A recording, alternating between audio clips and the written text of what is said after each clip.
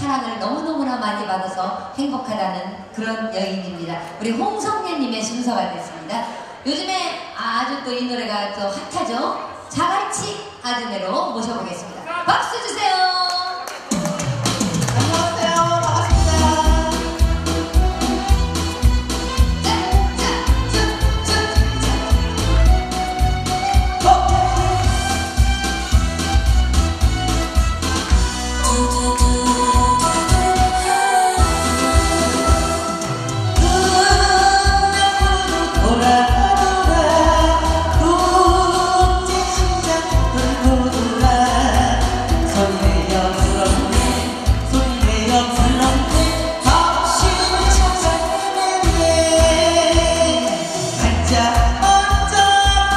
감사합니다.